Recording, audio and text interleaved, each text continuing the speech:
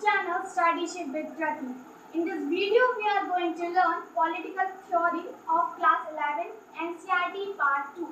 Let's start with chapter 1 Political Theory and Introduction. But before starting this chapter, we should know some basic information relating to it, such as we all know that only human beings having the ability to think and then they possess into their action. If we are going to take one step from here, then you have to think. Without thinking, you cannot do this. And only human beings can share their ideas and opinions with other person. कोई और species के पास ये ability नहीं होती कि वो किसी और के साथ अपने आइडियाज़ और ओपिनियन शेयर कर सके आपका डॉगी है क्या वो दूसरे डॉगी डॉगी को उसके साथ आप उसके माइंड में जो चल रहा है वो भी शेयर कर सकता है नो एक्चुअली पॉलिटिकल थ्योरी में हम कई सारे क्वेश्चंस पढ़ते हैं, जैसे कि why do we need a government which form of government is best whether monarchy और अ डेमोक्रेसी सिटीजन जो हैं अपने स्टेट के लिए किस तरह रेस्पॉन्सिबल रहते हैं? So, like these questions we are going to learn from political theory. Actually, political theory examine करती है इन्हीं सारे questions को। और हमें help करती है कि किस तरह से हम systematic manner में सोच सकें. Now here the question arise that what is the objective of a political theory? अरे भाई हम जो political theory पढ़ने जा रहे हैं तो हमें उसका objective भी तो पता होना चाहिए. We all know that we are going to be a citizen of this country. So, political theory help us to act in an effective manner. आप citizen होने वाले हैं आप किस तरह से आपको एक ट्रेन ट्रेनिंग देती है political theory. आपको ट्रेनिंग देती है कैसे कि आप एक परफेक्ट सिटीजन बन सके और आप जो डेली रूटीन की जो आपकी पॉलिटिकल एक्टिविटी हो रहे हैं, उनमें आप एक्टिवली पार्ट ले सकें so start our first topic what is politics politics जो वर्ड है, वो सभी के लिए डिफरेंट है। अगर आप पॉलिटिकल लीडर से पूछेंगे, कोई भी political leader whether they are following it और not they will say that it is a kind of a public service अगर आप किसी और पर्सन से पूछेंगे तो वो, हो सकता है आपको ये आंसर दे, किसी को मैनिपुलेट करना और अपने सेल्फ इंटरेस्ट के लिए काम करना पॉलिटिक्स है। And we think in a ordinary language, what is the meaning of politics for ordinary person?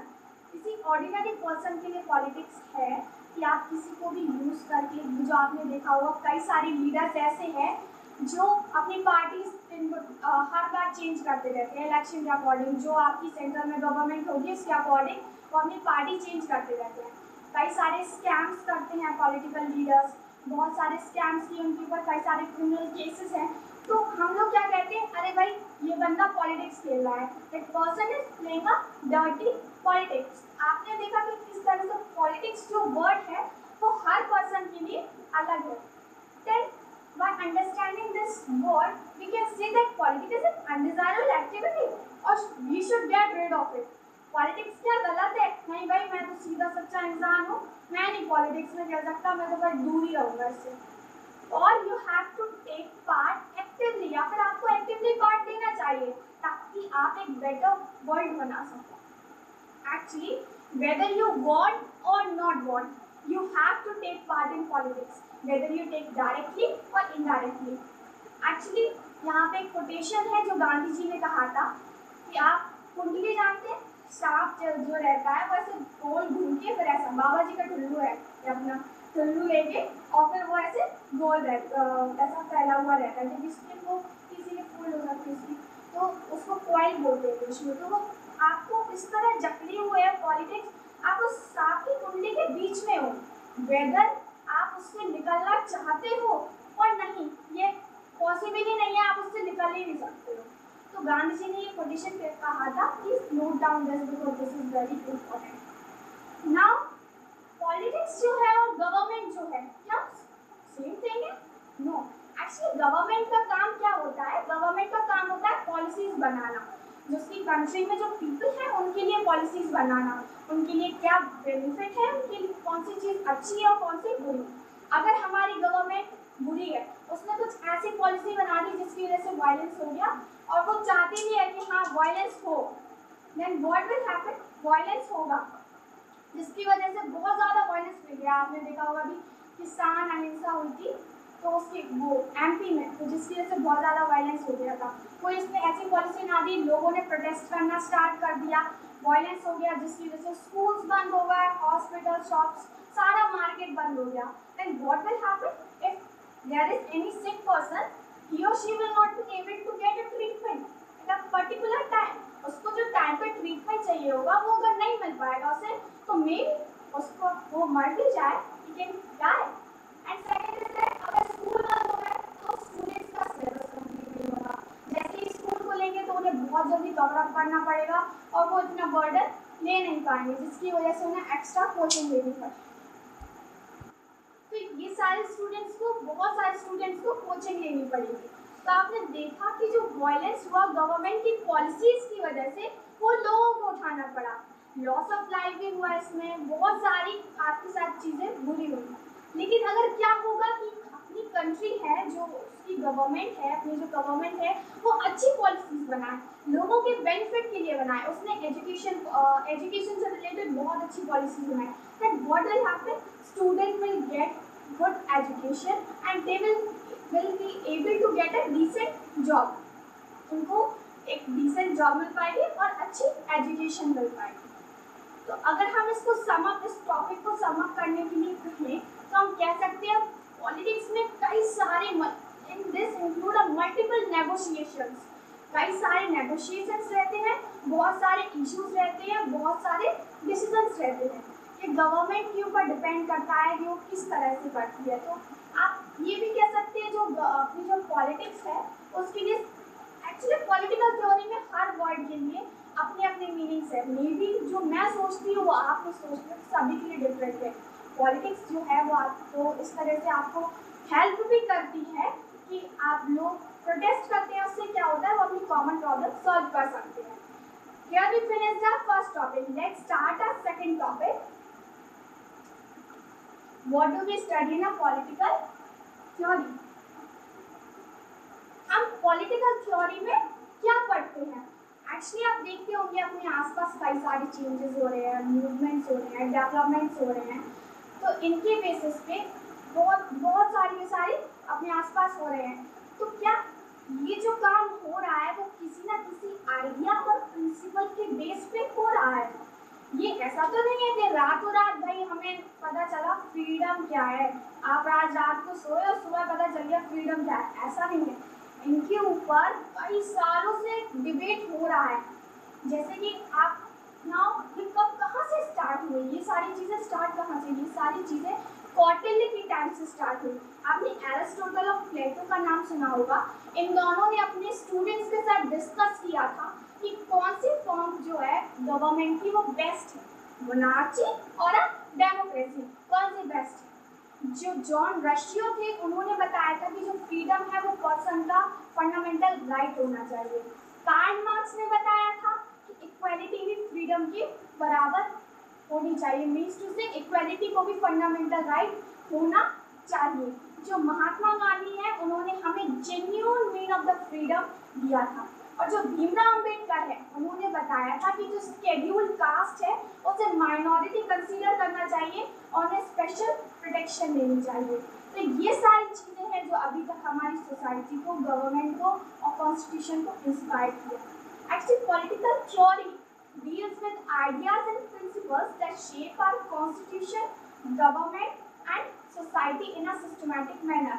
जो अपनी पॉलिटिकल थ्योरी है, उसने अब हमारे इन सभी चीज़ों को एक प्रिंसिपल दिया। Principle means to say not a school principle principle means to say a सिद्धांत। आपने देखा होगा, आलोक आलोक नाथ है जो उनकी मूवी बड़ी देखी होगी उन्होंने सिद्धांत। मीन्स टू से सिद्धांत। इन्हीं के बेसिस पे हमारी जो कॉन्स्टिट्यूशन है गवर्नमेंट है और सोसाइटी है, वो इंस्पायर्ड हुई है और उन्हीं के बेस पे वो ये सब अपना काम कर रही है। तो इन सब चीज़ों से आप क्या समझते हैं? क्या ये इनफ है? किसी भी सोसाइटी को अच्छी सोसाइटी चाहिए तो ये इनफ है? आपके पास फ्रीडम है। और अभी आपके पास जितने फंडामेंटल राइट्स है that means to say you can live a dignified life you can live no actually जो राइट्स हैं, वो टाइम के अकॉर्डिंग चेंज होते रहते हैं। मीन्स टू से जो राइट्स आपके पास है, वो कंडीशन के ऊपर डिपेंड करते हैं। आपने, आप सभी लोगों ने आरटीआई एक्ट के बारे में सुना होगा, जो कि 2005 में आया था। उसके बेसिस पे क्या था? आप, जैसे हमें पहले ही कॉन्स्टिट्यूशन में बहुत सारे फंडामेंटल राइट दिए थे, जैसे कि right to equality freedom right to religion ये सारे राइट्स दिए थे। तो क्या ये ना नहीं, उस टाइम पे कंडीशन ने डिमांड की कि जो लोग हैं उन्हें इन्वॉल्व होना चाहिए गवर्नमेंट पॉलिसीज़ में क्या हो रहा है हमें भी पता होना चाहिए कि कितना जो हमारी लोकसभा है, राज्यसभा, इन सब में कितना सब बजट पास हो रहा? प्रधानमंत्री का एक जो अपने पीएम है, उनका एक दिन का खर्च कितना? ये सारी इंफॉर्मेशन हमें जानने का हक है। Because we are living in a democratic country तो ये सारी चीज़ें हमें हेल्प करती हैं। थर्ड एग्ज़ाम्पल इज़ दैट आप देखते हैं आजकल ग्लोबल कम्युनिकेशन बहुत ज़्यादा बढ़ गया है। आप कुछ भी करते हैं इंटरनेट पे करते हैं। आपने कुछ फ्लिपकार्ट है अमेजोन है, कुछ मंगवाया उससे, ठीक है? कुछ आपने कुछ भी मंगवाया तो आप उसके साथ, उस वेबसाइट के साथ आपको अपनी पर्सनल इन्फॉर्मेशन शेयर करनी पड़ेगी। आपने नेटिजन के बारे में आपको मैं बता दूँ नेटिजन होते हैं जो इंटरनेट के सिटीजन होते हैं। हम सभी लोग नेटिजन हैं क्योंकि हम लोग सभी इंटरनेट यूज़ कर रहे हैं। तो आप जब उस पर्टिकुलर साइट के साथ आप अपनी इंफॉर्मेशन शेयर करते हो तो कौन इंश्योर करेगा आपको कि जो आप इंफॉर्मेशन शेयर कर रहे हो, वो आपकी सिक्योर रहेगी। कोई हैक नहीं करेगा, कोई टेररिस्ट उसका मिसयूज नहीं करेगा। Who will ensure it government और अ प्राइवेट कंपनी तो यही सारे क्वेश्चन हम इस टॉपिक यही सारे क्वेश्चन जो है, हम इस बुक में पढ़ने वाले हैं। Have we finished our second topic let's start our third topic putting political theory to practice जो पॉलिटिकल थ्योरी है उसको प्रैक्टिस में रखने से प्रैक्टिस डेली लाइफ में, उससे क्या होता है हम एग्ज़ाम्पल देखेंगे उसके। एक्चुअली पॉलिटिकल थ्योरी आप जब किसी से भी डिबेट करने जा रहे हो टॉपिक्स पे, जैसे कि फ्रीडम हुआ इक्वालिटी हुआ सेकुलरिज्म हुआ नेशनलिज्म इन सब पे आप डिबेट करने जा रहे हो तो क्या होगा? सबसे पहले तो ये क्वेश्चन अराइज होगा व्हाट डज इट मैटर्स ये क्या हमारी लाइफ में इंपॉर्टेंस है? एक्चुअली आप सब जो पॉलिटिक्स पॉलिटिकल थ्योरी में हम जितने भी टर्म्स पढ़ते हैं, जितने भी कॉन्सेप्ट वैल्यूज़ रहती है डेमोक्रेसी हुआ फ्रीडम हुआ, इन सब की आपको एक डेफिनेशन तो कहीं नहीं मिलने वाली। सभी के लिए इनके अपने अपने जो डेफिनेशन है, सभी के लिए अलग होती है। स्कॉलर्स और थिंकर्स की जो थिंकिंग थी, उन्होंने जो अपने टर्म्स दिए डेफिनेशन दिए, उनमें भी बहुत सारे कॉन्फ्लिक्ट्स हुए। तो सभी के लिए डिफरेंट है। अब जैसे मैथ्स लो स्क्वायर हुआ ट्राइंगल हुआ, ठीक है? इन सभी के डेफिनेशन एक किसी मैथमेटिशियन ने दी। किसी भी मैथमेटिशियन ने ट्राइंगल की दी, उसके ऊपर जो कंडीशन अप्लाई हो रही है, वो ठीक है। लेकिन जो पॉलिटिकल थ्योरी में जो वैल्यूज़ है, उनकी कंडीशन के ऊपर डिपेंड नहीं करता, वो सभी के लिए अलग अलग है। Second is that take a daily routine example आप डॉक्टर के पास जा रहे हो ट्रीटमेंट के लिए, आप देखते हो, वहाँ पे बहुत लंबी क्यू है। आप जाके पीछे लग जाते हो, क्योंकि ताकि एक एक करके सभी का चांस आए आप देखते हो कोई थर्ड पर्सन आया और वो सबसे पहले डॉक्टर के पास चला गया। What you will feel you very cheated हालाँकि आप कुछ कर नहीं पाओगे, बस पीछे क्यों में खड़े खड़े गुस्सा आ जाएगा तो इस सब आप इस तरह की फीलिंग आई है what will happen is some person will say hey go back to the queue पीछे जाओ, आगे क्यों आए? तो what you will at the time you will feel glad आपको लगेगा ओ बहुत अच्छा हुआ that means to say equality means to equal opportunity to all अगर क्या होगा, कोई फ़िज़िकल डिसेबल पर्सन आ जाए, अगर वो उसको आगे जाने का चांस मिल रहा है, what you will say? It is justified. So we can say equality depends upon the context किस पे? ये कंटेक्स्ट पे डिपेंड करता है कि किस तरह, किस कंडीशन में ये अप्लाई हो रहा है. Equality means to equal opportunity to all and it also depends upon the context as in the case of the equality बाकी जो कॉन्सेप्ट्स हैं, उनमें भी यही चीज़ फॉलो होती है वेदर वो फ्रीडम है नेशनलिज्म है सेकुलरिज्म है तो इन सब में equality depends upon the context context as I said before so here we finished our third topic let start our fourth topic why should we study a political theory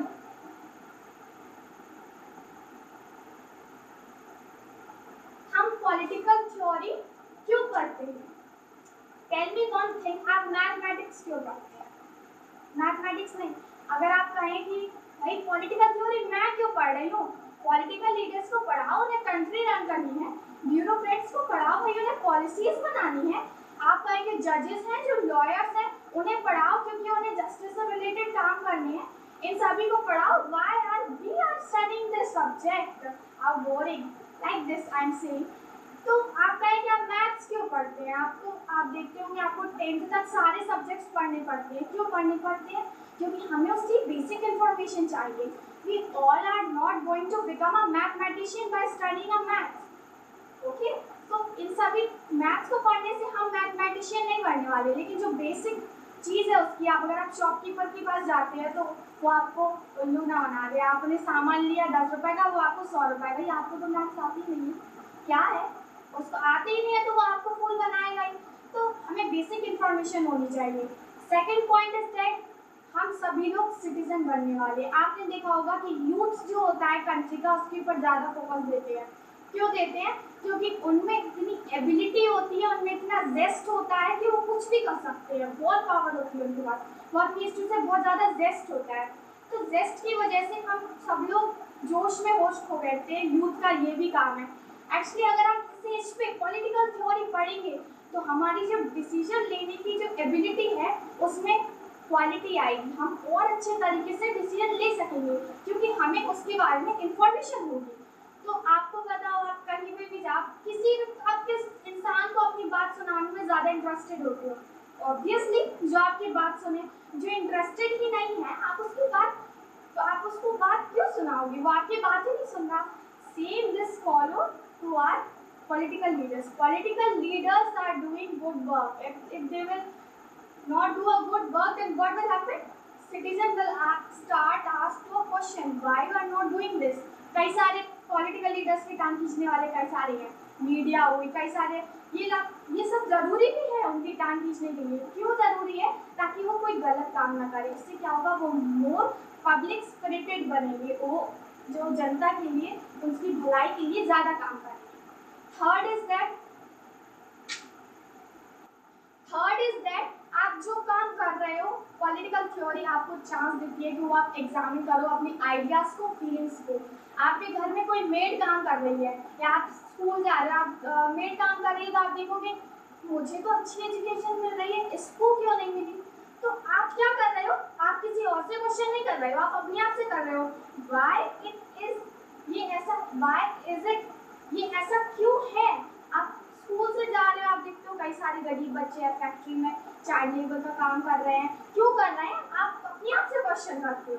So at last I can say that political theory help us to think in a systematic manner आप किस तरीके से, आप किस तरह सोचें? Political theory आपको जानने में ये मदद करती है आपके डिसीज़न की जो क्वालिटी है उसको इम्प्रूव करती है। आपको चांस देती है ताकि आप एक रिस्पॉन्सिबल भी आप रिस्पॉन्सिबल सिटीजन के रूप में कुछ भी कर सकें। क्योंकि अगर हमें अपनी कंट्री को सुधारना है तो हम को कुछ ना कुछ करना पड़ेगा। Set last here we finished our uh, chapter.